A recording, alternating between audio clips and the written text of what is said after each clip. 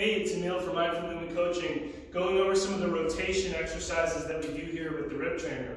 So the first thing we want to do is talk about hand positions that were set up for this. So your base hand is going to be in position one, palm down, and your power hand is going to be in position four, palm up. And then what we do here now is we make sure that we're aligned sideways to our anchor point. And we're going to start off with what we call the stack, meaning static as well as being stacked in alignment sideways to the anchor point.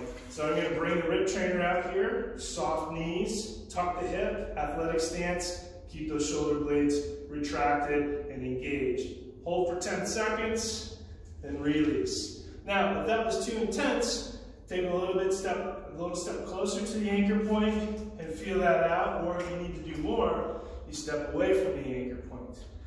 It also so happens if you're stuck where that's just too difficult and you don't have a lighter weight band, you can play around with the leverage on the handle. So take the base hand, try mid position, and then take your power hand, put that in mid position. You just reduced the resistance arm, and that might be just what you need so you're successful in the beginning, and then you'll um, adapt and grow to working with that heavier weight band as you work back to the original hand positions.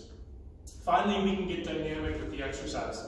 So what we'll do is we're going to rotate and squat.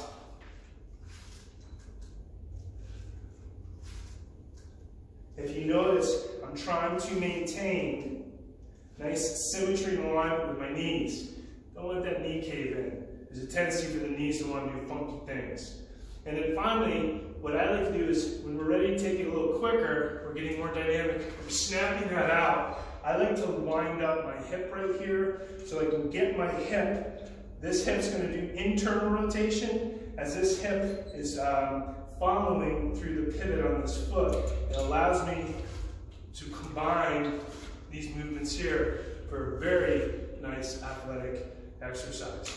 Okay, so have fun with those. If you have any questions, you can email me at emil at mindmovecoach.com. Good luck.